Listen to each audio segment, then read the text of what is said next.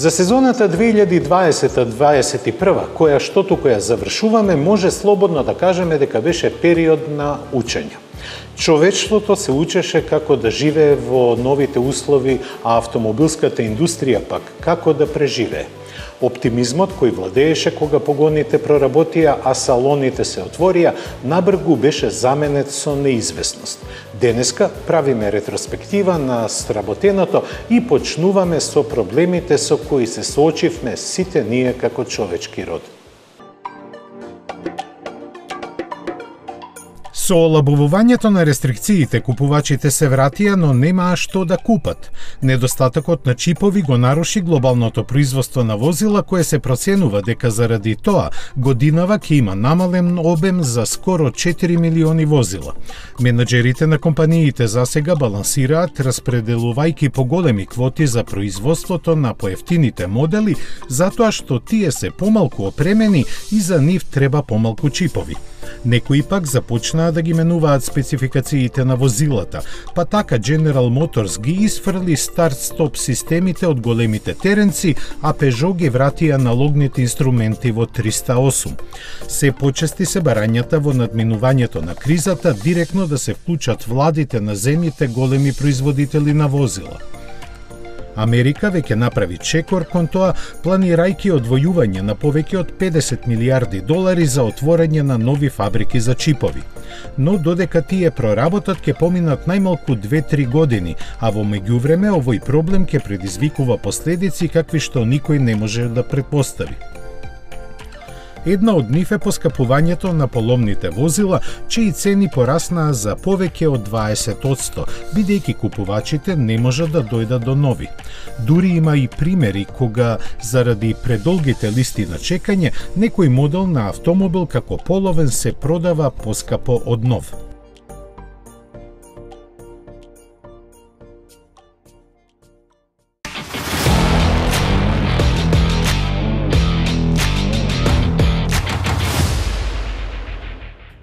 На долг рок пак, автомобилската индустрија започна цврсто да гази по патот кон иднината, што сама ја зацрта. Неколку марки веќе дефинираа кога ќе престанат да произведуваат возила со конвенционални мотори, меѓу кои се Мини, Volvo, Fiat, Audi и други.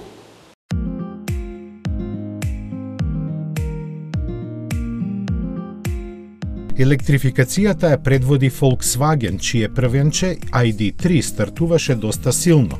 Започна да се продава во септември, а до крајот на ланската година се искачи на третото место на листата најпродавани електрични возила во Европа. Веќе сега е јасно дека ако некој може да го симне голф од европскиот престол, тоа ќе биде токму ID3. Позицијата на Volkswagen ќе ја зацврстат и другите возила кои ја користат неговата платформа. Посебно многу се очекува од кросоверот ID4, кој ќе биде глобален електричен модел на марката и ќе се произведува и продава во Европа, Кина и Соединетите Американски држави. Неговиот чешки братучет Enyaq ИВ во многу нешта ќе ја дефинира иднината на Шкода, додека пак од Шпанија пристигнува жешката Купра Борн. Еколошки и возбудлив со овој темпераментен каталонски модел, перформансната марка на Сеат ќе го засили својот имидж. Таква потреба нема Ауди, кој својата гама ја прошири со Q4 и Tron. Значајно за него е што користи трета различна електрична архитектура, покрај веќе од порано познатиот e-tron. Тука е и спортската лимузина e-tron GT, која со својот монолитен дизајн, складни пропорции и одлични перформанси остава силен впечаток.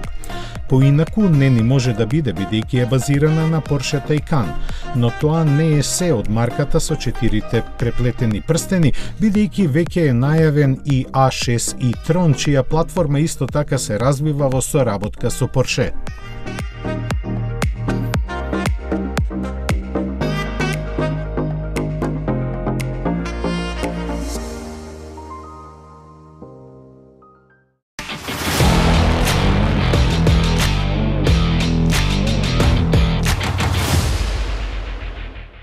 Посебно активни на ова поле се и останатите германски премиум производители. BMW пред крајот на годинава ќе започне со продажба на своите нови модели, чија задача е да ја однесат марката во иднината, во која за струјата ќе има повеќе место.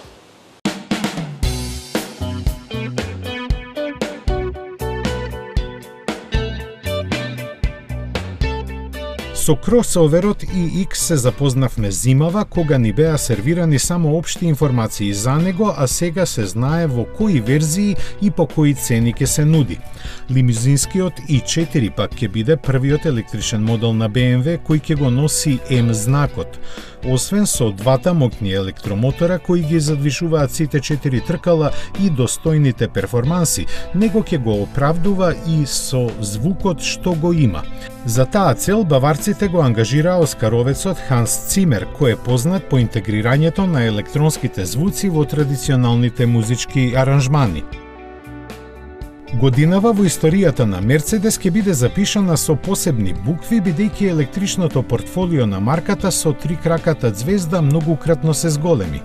Прво беше покажан за сега најмалиот во гамата, кросоверот со динамичен дизајн EQA, базиран на класичниот GLA. Истата формула е употребена и за EQB, додека пак знаменосецот EQS е нешто сосема посебно – Овој модел кој погрешно се нарекува дека електричната верзија на S-класата има сосема нова, наменски развиена платформа. Наменета за користење кај сите поголеми електрични модели на Мерцедес, кај неа акцентот е ставен на автономијата.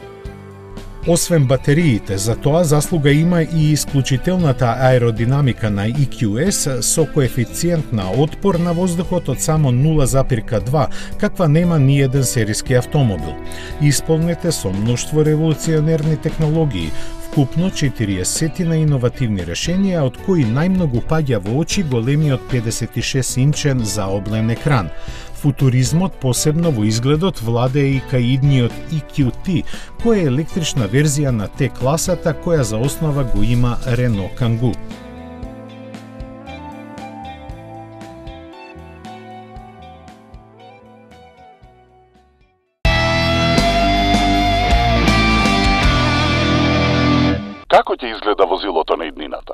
Предни светла кои личат на лавовски заби. Лавовски заби?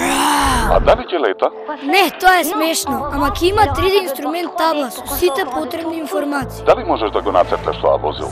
Јас не цртам толку добро, но може нешто како ова.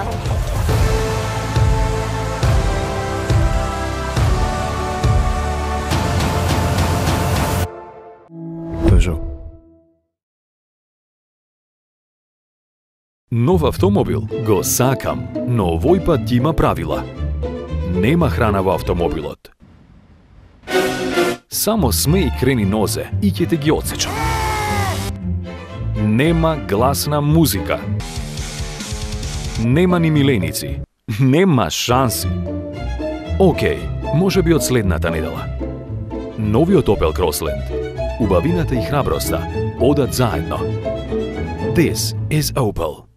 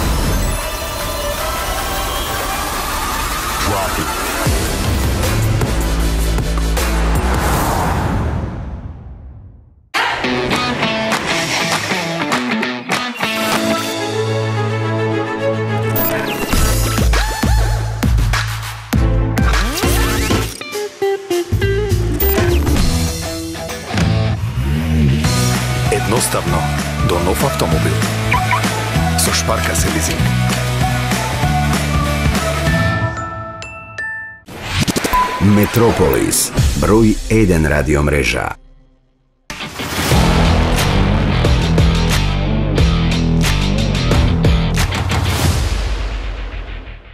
И додека новитетите на француската групација допрва се очекуваат, PSA сега како Stellantis го расшири своето мултиенергетско решение низ гамата на Peugeot, Citroen и Opel. Ништо покуси не се ниту корејците, кои имаат своји видувања на електрификацијата.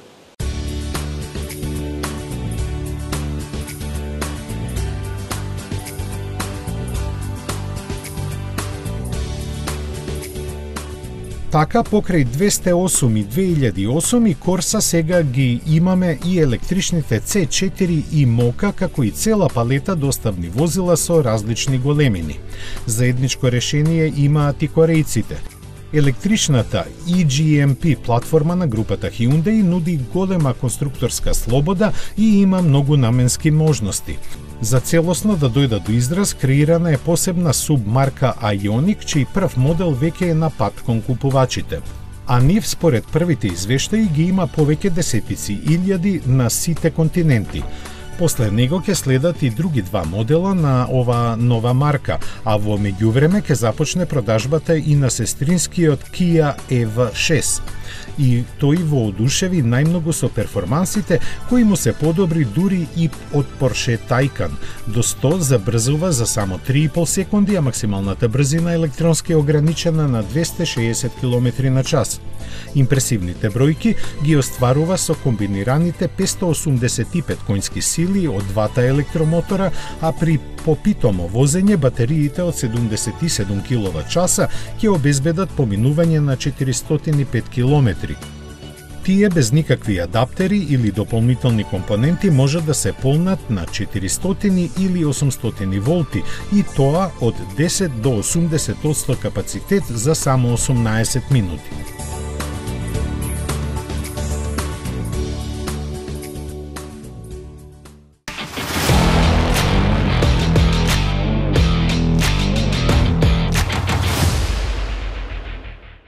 Иако први го започнаа големосерискиот електричен маратон, јапонците за сега дебело каскаат за другите.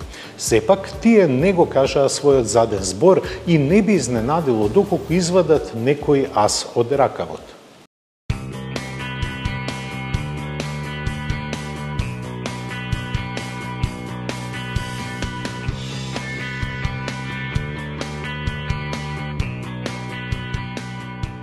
Дури и пионерот Nissan, кој цела деценија после Leaf го лансира својот втор модел Арија. Купе кросоверот голем колку X-Trail е поставен на нова платформа која ќе ја замени сегашната. Доцна, но сепак одлучно во електричната трка се вклучува и Toyota – Првиот модел има криптично име BZ4X, чии први две букви, како кратенка од Beyond Zero, кажуваат дека е дел од ново креираното семејство со цел намалување на емисиите на јаглерод до нула. Вторите пак дека е кросовер со два погонски електромотора кој е поставен на платформа заеднички развиена со Subaru.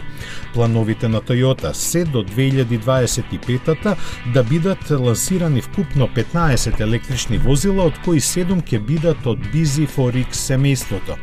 Истата механика ја користи и Lexus LFZ, кој ги најавува новиот стил и технологиите за блиската иднина.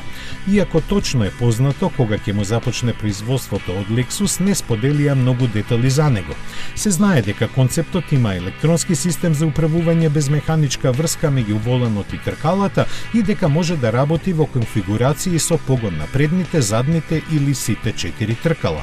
Но додека јапонските автогиганти се предпазливи со електрификацијата, пазарен потенцијал во компанија Vive Sony, кој реши да оди до крај со развојот на електричниот автомобил, замислен само како средство за покажување на технологиите развиени за производителите на возила беше покажан лани на саемот на потрошувачка електроника CES во Лас Вегас, од каде после реакцијата на публиката беше транспортиран во Грац, кај австриските стручњаци на Магна Штаер, кои беа задолжени за неговите механички компоненти а тие после серија по детални прилагодувања веднаш го изнесоа на околните патишта на тестирање, очигледно сакајки да ни кажа дека во иднина доста ќе се зборува за него.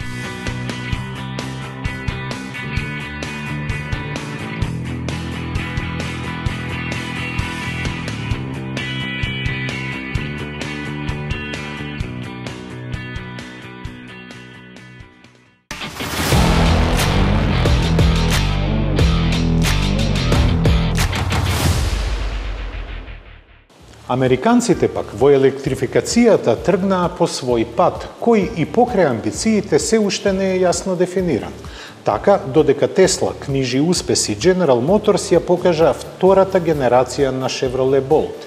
Со него воедно се означи и почетокот на реализацијата на плановите до 2025 година да бидат лансирани 30 електрични модели за кои е развиена посебна и технолошки напредна платформа.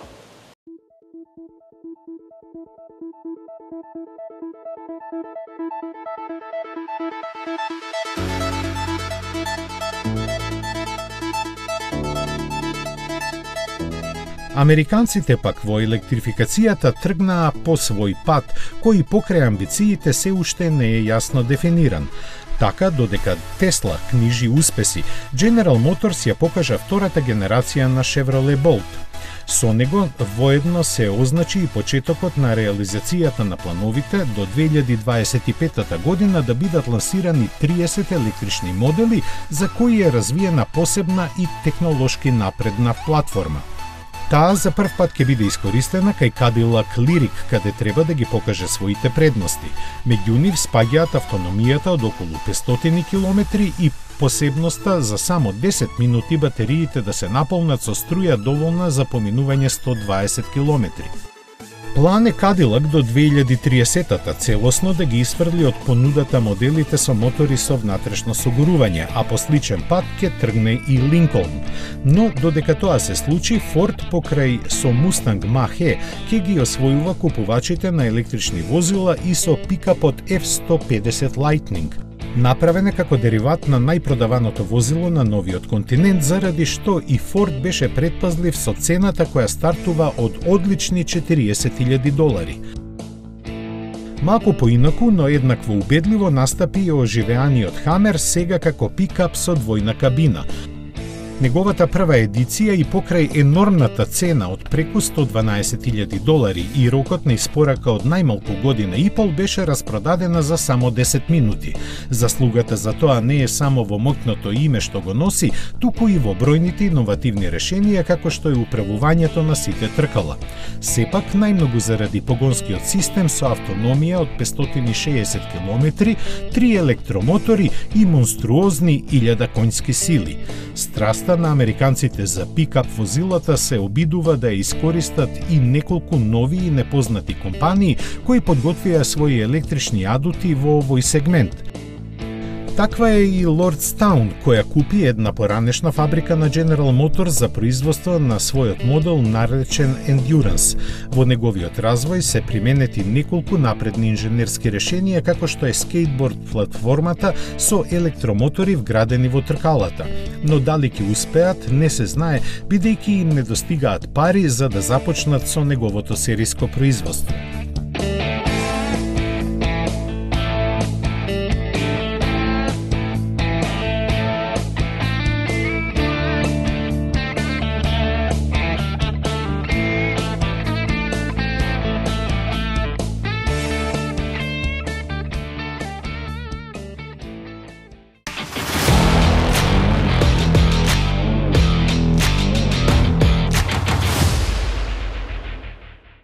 Перформансите се императив кај секој автомобил, а тие со помош на електричниот погон посебно доаѓаат до израз кај суперавтомобилите. Нив ги има се повеќе и секој се перчи со мускулите, дали електрични, дали бензински.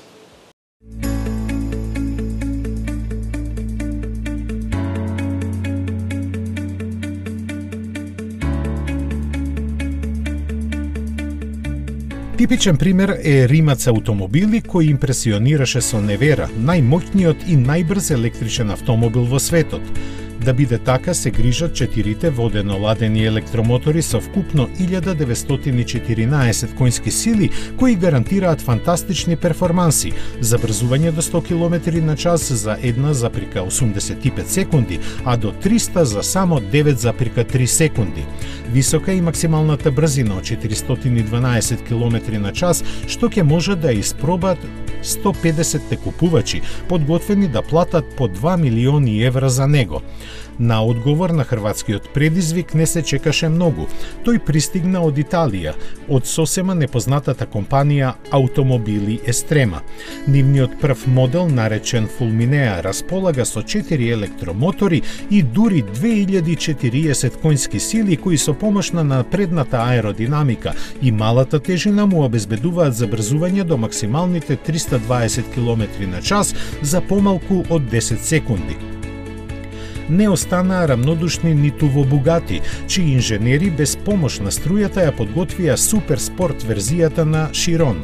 Таа во основа е сериската изведба на рекордерот 300 плюс, од кој главно се разликува по тоа што брзината му е лимитирана на 440 км на час. Моторот е познатиот W16, засилен на 1600 конски сили, а цената поставена на 3,2 милиони евра без давачки. Иако погонски, за почитување се и бројките кај новите две зверки од серијата 812 кои ги подготви Ферари Ферари. Првата е динамично купе, чие задно стакло е заменето со профилиран лим, а втората верзија се разликува по одстранливиот покрив од јагленородни влакна и е доозначена со буквата А. Заедничко име 6,5 литарското V12 срце кое без помош на турбокомпресор или електромотор е навиено на 830 конски сили чука до 9.500 пати во минута, лансирајќи ги до 100 на час за вртоглави 2,5 секунди. 200 качува за 7,5 секунди, а ако не запрете ке оди се до 340 км на час. Механиката по потекло од Ферари се крие и во Арезе РХ-95, кој доаѓа со скоро 100 години старата каросерница Туринг Суперледжера од Милано. Одличниот изглед е плод на богатото наследство што оваа компанија го има. Многу детали за него не се познати и ќе им бидат соопштени само на 18 купувачи колку што примероци ќе бидат направени. За разлика од нив, Мекларен за Артура ништо не крие. Направен да ги замени постоечките модели од спорт серијата, тој има целосно нова кармонска архитектура оптимизирана за хибридни погонски единици. Нов му е и моторот кој е 3 литарски V6 со два турбополначи.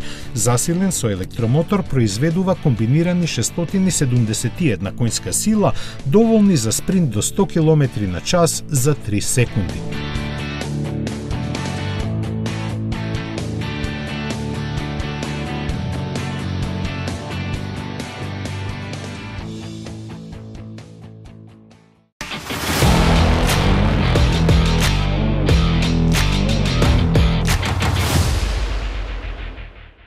Со напливот на кросоверите се проредчија вестите за новитети меѓу класичните возила, посебно оние без никаква хибридна помош.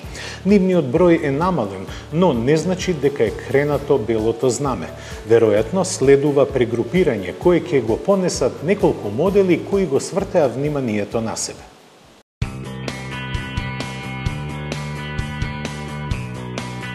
Токму таква е новата генерација на Шкода Фабија, која конечно ја доби MQB платформата. Низиното користење и донесе значително поголеми димензии. Сменети се и пропорциите на каросеријата, чиј изглед генерално го следи дизајнот на останатите модели на чешкиот производител. Друг новитет е третата генерација на 308, со која Peugeot ќе го зацврсти своето присуство во најпопуларната европска класа. Визуелно се угледува на дизајнот на успешниот 208 прилагоден на значително поголемите пропорции и благата купеовска контура. Основата на моторизацијата е 1,2 литарскиот трицилиндричен мотор во верзии од 110 и 130 конски сили, на кои се надоврзува Blue HD дизелот со 130 коњи. Интерес ќе предизвикаат и двете плагин хибридни верзии со 180, односно 225 конски сили, кои само на струја може да поминат до 60 км. Но вадут во оваа класа ќе има и Honda, чии инженери веќе ја подготвија 11-тата генерација на Civic. За сега е позната само американската верзија, бидејќи овој модел веќе нема да се произведува во Европа. Значаен новитет има и Мерцедес, чија C класа пристигна со стил. Многу нешта во неа се позајмени од луксузната S-класа, што му дава на овој најпродаван модел на марката значителни пазарни предимства. Зачинети се со трите бензински и двата дизел мотори, сите со 9 степена автоматика и интегриран стартер генератор како блага хибридна поддршка.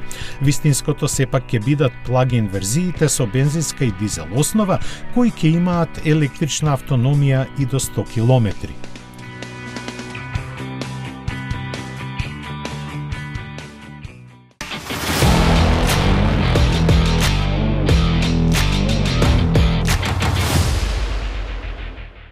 Оваа сезона што ја завршуваме беше исполнета со многу предизвици. Намелениот пласман на возила се одрази и на домашната автомобилска сцена. Во овие 40 епизоди успеавме да направиме 22 тестови на автомобили, од кои еден напореден на 5 електрични модели во траење од 24 часа.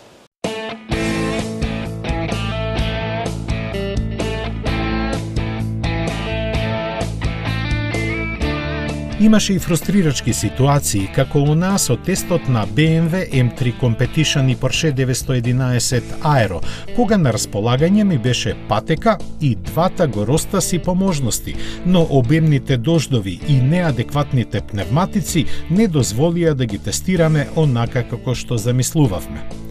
Временските услови пак не беа проблем за 24-часовното возење на електричните автомобили, каде предизвик беше што помалку пати да се наполни струја и да се поминат што повеќе километри.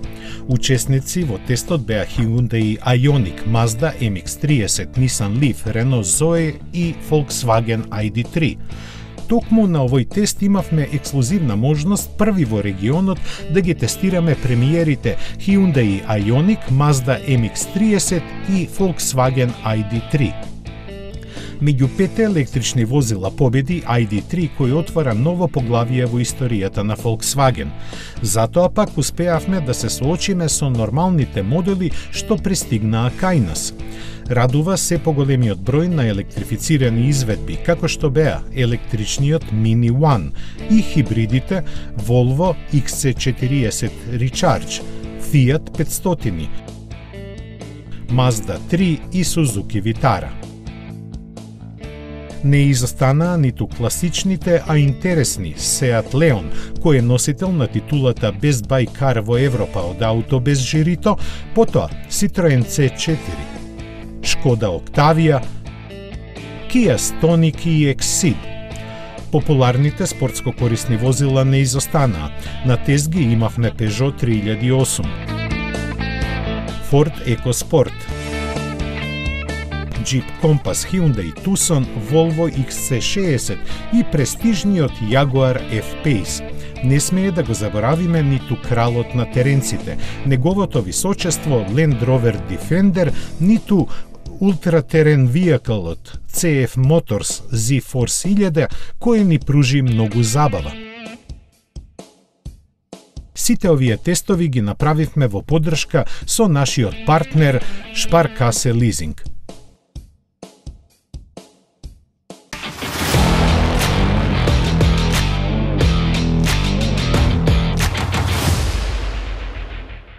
Верувам дека во оваа јубилејна 25-та сезона ви овозможивме многу забава и информации што ви ги проширија хоризонтот во океанот наречен автомобилска индустрија. Во моје име и на екипата на Автомагазин ви благодарам што не следевте. Имајте убаво лето, наполнете ги батериите, чувајте го своето здравје и се гледаме на есен.